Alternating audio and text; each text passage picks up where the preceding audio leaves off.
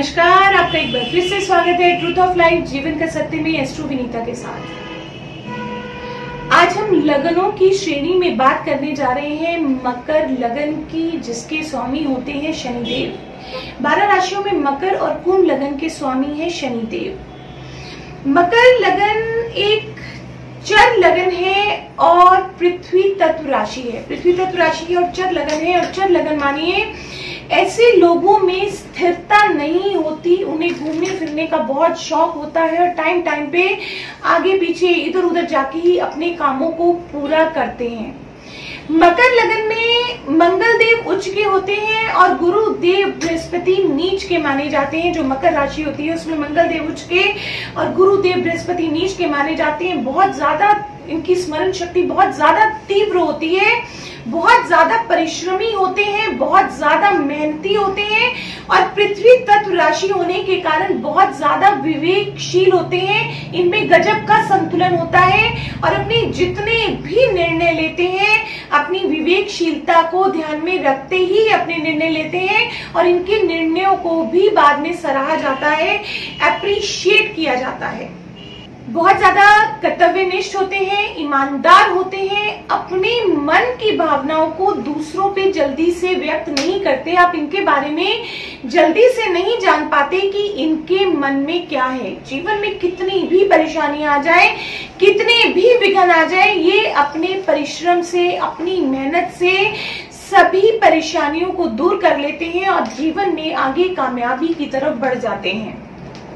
ऐसे लोगों को जो कि मकर लगन और मकर राशि के हैं, जो विशेष तौर पे ख्याल रखना चाहिए अपने जीवन में, जिसे कहते हैं सावधानी बरतनी चाहिए। एक तो इन्हें ना तो बहुत ज़्यादा गर्म खाना चाहिए और ना ही बहुत ज़्यादा ठंडा खाना चाहिए। और दूसरी चीज़ आलोचनात्मक रवैया, जिसे कहते हैं हम किसी दूसरे की बुराई करते हैं, किसी की पीठ पीछे, किसी की निंदा बुराई करने से इन्हें विशेष रूप से बचना चाहिए। मेंटली तौर पे बहुत स्ट्रांग होती है और अपने परिवार की उन्नति के लिए, जिसमें इनकी फैमिली की प्रोग्रेस हो, उसके लिए कितनी मेहनत कितनी भी परिश्रम करने के लिए ये ऑलवेज तैयार रहते हैं बहुत ज़्यादा मेहनती होते हैं। जहाँ तक की बात करें इनके प्रेम संबंधों की तो उसमें भी कहीं ना कहीं संकुचित तौर पे रहते हैं। एकदम खुल के अपने आप को व्यक्त करने वाले नहीं होते। आ, निर्मल स्वभाव रखते हैं और उनके बारे में उच्च दृष्टिकोण रखते हैं। अगर कोई मेल पर्सन है और उनकी कोई फीमेल मित्र है तो उनकी जो नेचर होगी, उसके प्रति निर्मल होगी, उसके प्रति उनका जो दृष्टिकोण होगा, वो उच्च होगा। ऐसा कभी गलत नहीं सोचेंगे अपने लाइफ पार्टनर के लिए। पर यही अगर कहीं आपका शनि खराब हो जाए कुंडली में, क्योंकि शनि इनका स्वामी होता है। अगर शनि देव कहीं खराब हो जाए कुंडली में कहीं मंगल, शुक्र, शनि का कोई संबंध आपस में बन जाए तो ऐसे में इंसान कामुकता की तरफ़ चल देता है, विलासता की तरफ़ चल देता है और कुछ ना कुछ अनैतिक संबंध बना लेता है। बात करते हैं इनकी एजुकेशन की तो एजुकेशन लेवल वही अच्छा रहता है। एजुकेशन की जब भी हम बात करते हैं, मैंने अभी भी आपको बताया कि पिछले जितने भी हम एपिसोड करते आ रहे हैं कि एजुकेशन लेवल बहुत हद तक आपकी कुंडली में पंचमेश पे डिपेंड करेगा।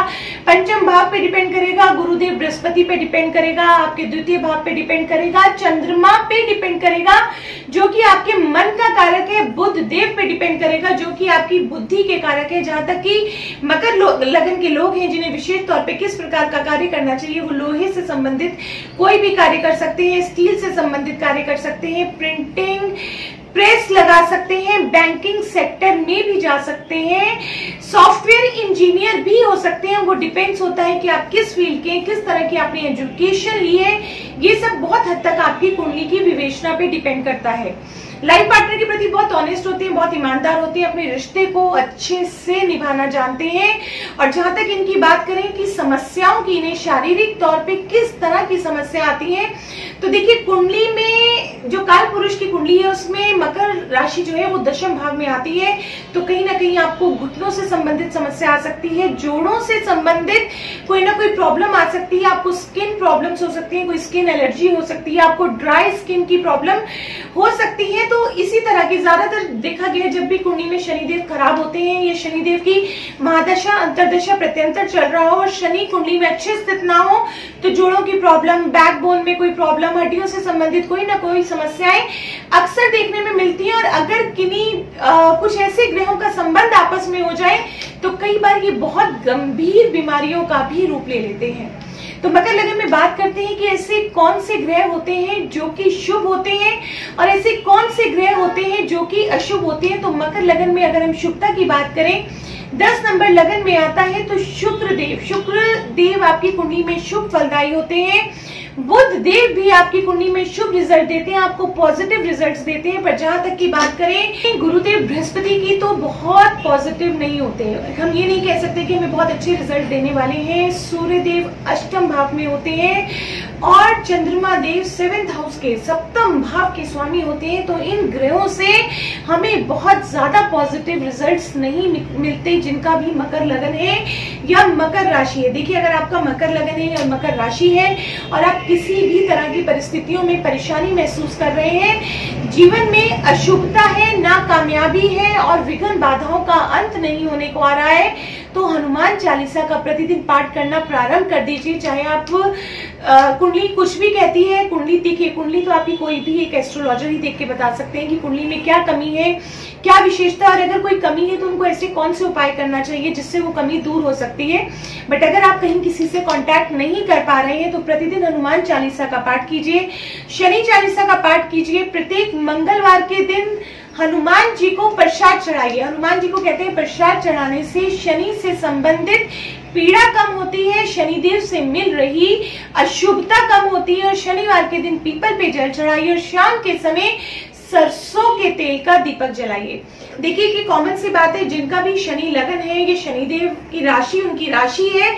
तो जो निम्न स्तर, जो कि फोर्थ ग्रेड स्टाफ होता है, या लेबर क्लास होती है, या जैसे रिक्शे वाले भैया हैं, या कोई भी, जो भी मैनुअल लेबर करते हैं, जो कि शारीरिक श्रम करते हैं, हमेशा उनकी मदद करें, उनकी हेल्प करें, उनसे बुरा व्यवहार ना करें।